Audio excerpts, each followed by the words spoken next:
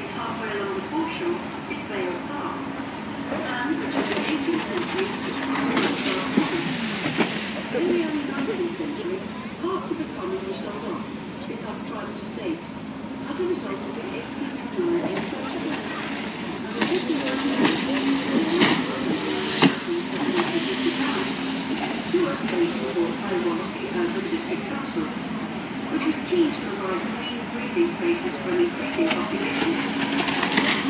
The Times opened as Vale Park on the 20th of May, 1899.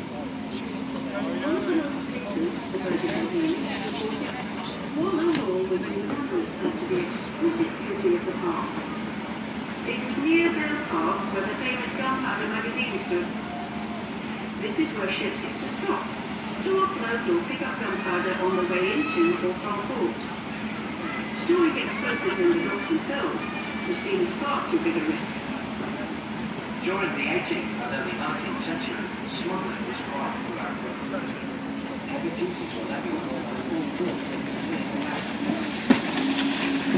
Smugglers incentives to employ prescribed deckhands, killing or wounding an excise officer, or for using arms against him, and even for resisting arrest unarmed.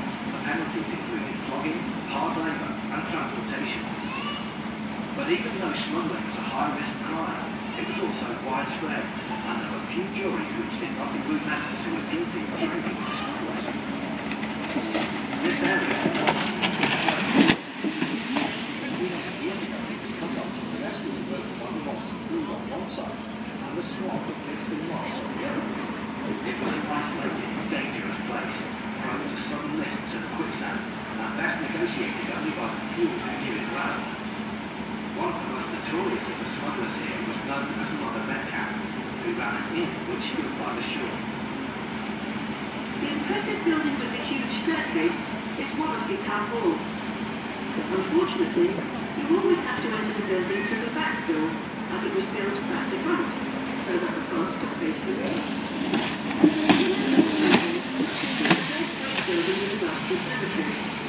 This is Guinea Gap Baths, opened in 1908. Some say that the name comes from a bag of guineas once found washed up on the shore here.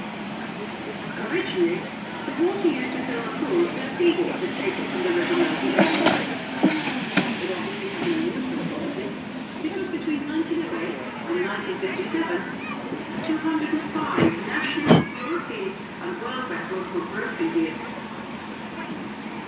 On our right, the tall square tower, looking something like a giant stereo, is the Kingsway Boat Tunnel Ventilation Tower. Its twin is on the Liverpool side of the river. As we approach Seacombe, look out for the large bell at the landing stage, used before radar as the only guide from the day is followed. In fact, radar was installed in 1957 as the first in the world to guide days.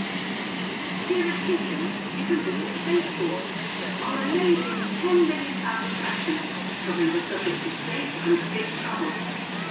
Spaceport is currently hosting the exhibition Wallace in Wallace in Space, you can visit Wallace's workshop and interact with some of his cracking contraptions. There is even a selection of sets from the award-winning films. A visit to Spaceport typically takes about two hours.